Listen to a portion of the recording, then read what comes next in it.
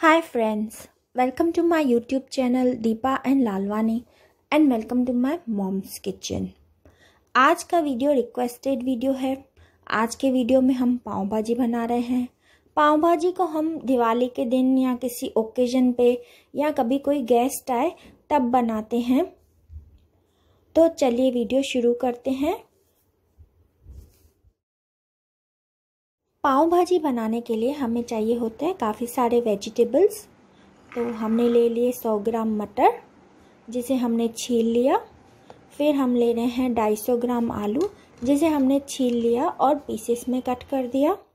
फिर हम ले रहे हैं सौ ग्राम फूल गोभी चार से पाँच फूल हमने ले लिए। फिर हम ले रहे हैं एक सौ ग्राम पत्ता गोभी जिसे भी हमने कट कर दिया है।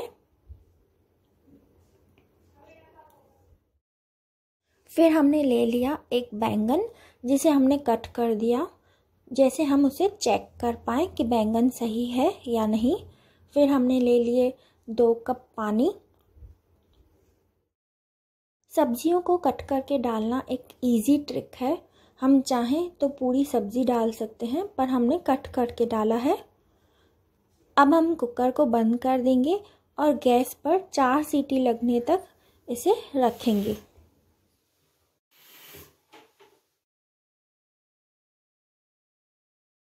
फ्रेंड्स मेरे YouTube channel Deepa and Lalwani को सब्सक्राइब करें बेल आइकन को प्रेस करें और वीडियो को लाइक शेयर और कमेंट करें। हमने एक कढ़ाई को गैस पर रख दिया और इसमें चार बड़े चम्मच तेल डाल दिया।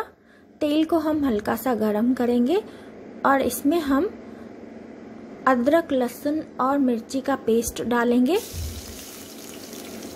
पेस्ट बनाने के लिए हमने 10 से 12 लहसुन की कलियाँ ले ली, डेढ़ इंच अदरक का टुकड़ा और दो हरी मिर्च ले ली। पेस्ट को हम हल्का सुनहरा होने तक भूनेंगे। गैस को स्लो रखेंगे। अब हम इसमें 200 ग्राम प्याज डालेंगे। प्याज को हमने मिक्सर में चला लिया। प्याज को भी हम हल्का सुनहरा होने तक भूनेंगे।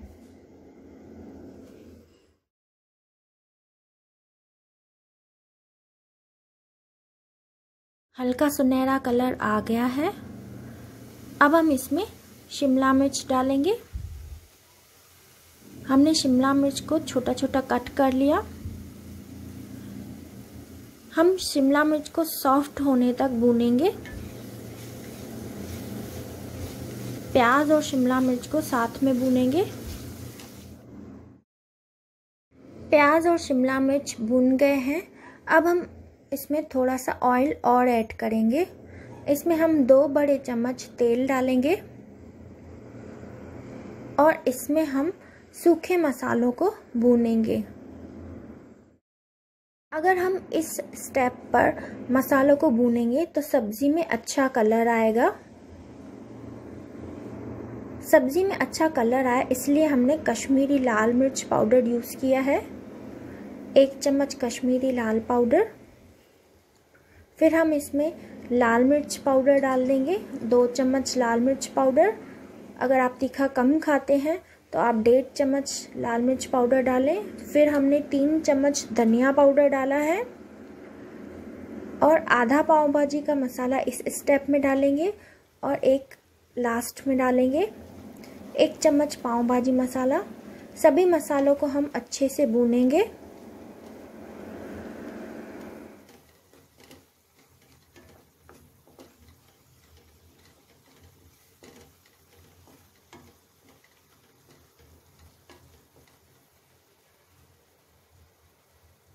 मसाले भूनकर रेडी है। अब हम इसमें टमाटो प्यूरी डालेंगे। चार मीडियम टमाटर को हमने मिक्सर में चला लिया। वज़न में करीबन 300 ग्राम टमाटर लिए हैं। टमाटर को हम अच्छे से भूनेंगे। अब हम इसमें नमक डाल देंगे। हमने दो चम्मच नमक डाला है। या नमक स्वाद अनुसार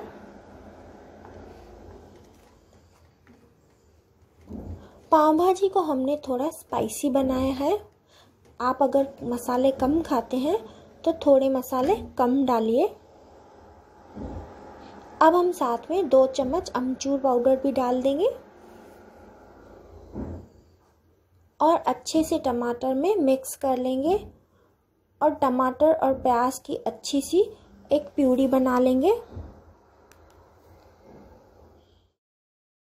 जैसे जैसे प्याज और टमाटर पकेंगे, साइड से तेल निकलना शुरू होगा।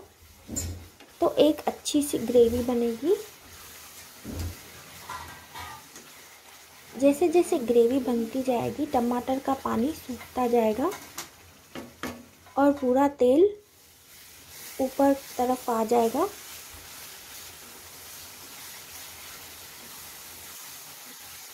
पाँच से छः मिनट में पूरा तेल ऊपर की तरफ़ आ जाएगा और ग्रेवी बन जाएगी।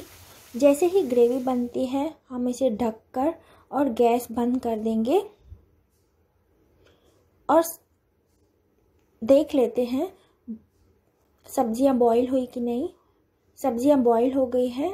अब हम बैंगन को अलग कर रहे हैं। बैंगन में हम बैंगन का छिलका हटा देंगे।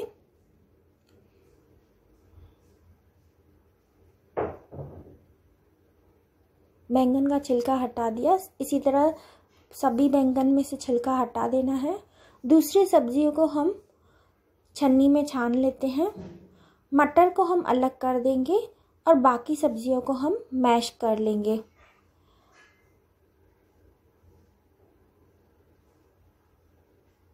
मैंने इसे फोक से मैश किया है।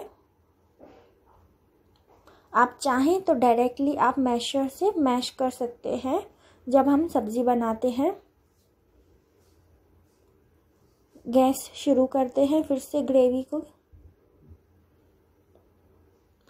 अब हम इसमें बैंगन डाल देते हैं। बैंगन को हम अच्छे से भून लेंगे। बैंगन को तेल में भूनने से उसका कच्चापन चला जाएगा। बैंगन भून गया है। अब हम इसमें दूसरी सब्ज़ियाँ डालेंगे। दूसरी बॉईल की हुई सब्ज़ियाँ, जिन्हें हमने फोक से मैश कर लिया है। सारी सब्जियों को हमने ग्रेवी में डाल दिया।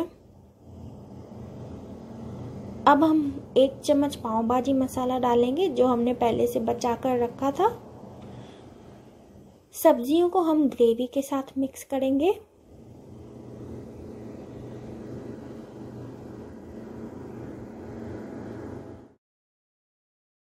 पाव भाजी टेस्ट में स्पाइसी और चटपटी लगती है। काफ़ी लोगों को पसंद आती है। आप भी ये रेसिपी ट्राई करें और मुझे भी बताएँ आपको रेसिपी कैसी लगी।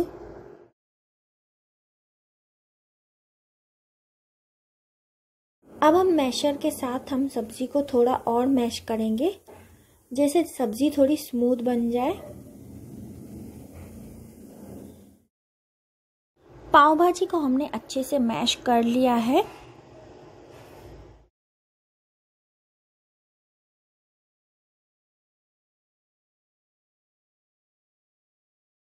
सब्ज़ी बुनकर रेडी है। अब हम इसमें मटर डाल देंगे, जो हमने अलग करके रखे थे। इन्हें भी हम सब्ज़ी में मिक्स कर देंगे।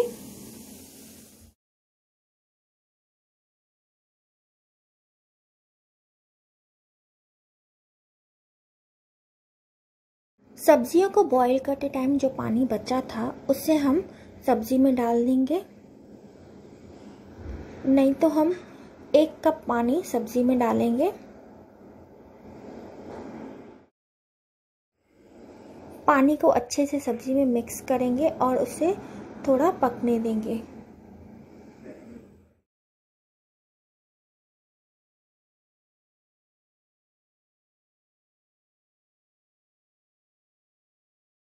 सब्ज़ी में से पूरा तेल ऊपर की तरफ़ आ गया है।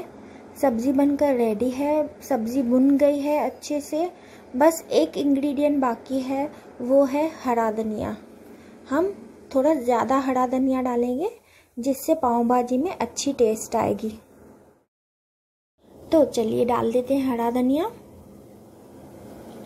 पाव भाजी को हम पाव के साथ, रोटी के साथ या स्लाइस ब्रेड के साथ भी सर्व कर सकते हैं। ज़्यादातर इसे हम पाव के साथ ही सर्व करते हैं। फ्रेंड्स, हम पाव भाजी को दिवाली के दिन बनाते हैं, क्योंकि इसमें सात सब्जियों का कॉम्बिनेशन होता है और दिवाली के दिन हमें सात सब्ज़ियाँ बनानी होती है। पाव भाजी बनकर रेडी है, इसे ढक कर रख देंगे और गैस बंद कर देंगे। पाव भाजी को हम पाव ब्रेड के साथ सर्व करते हैं तो चलिए तवे पे पाव को सेक लेते हैं। हम इसे बटर में या ऑयल दोनों में सेक सकते हैं। हमने एक चम्मच बटर ले लिया, उसमें हम पाव को सेक रहे हैं। पाव को हमने दो पीसेस में कट कर लिया और इसे हम बटर में सेक रहे हैं।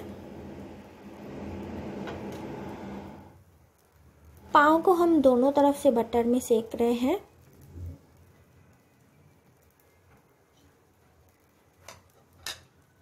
पाव को फ्लिप कर देते हैं।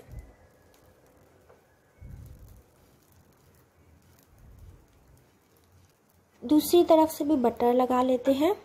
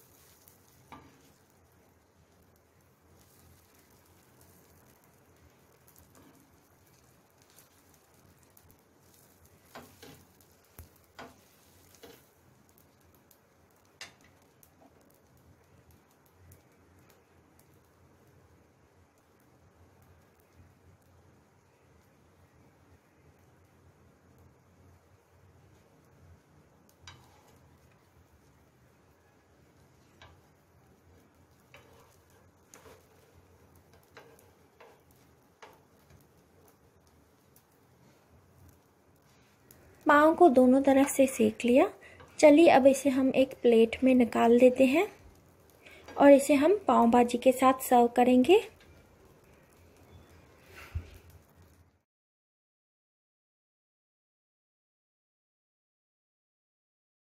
एक प्लेट में हमने पाव भाजी ले ली।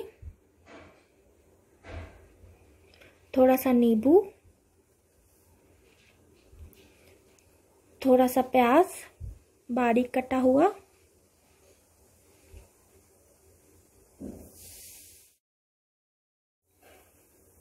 हरा धनिया, आधा चम्मच बटर,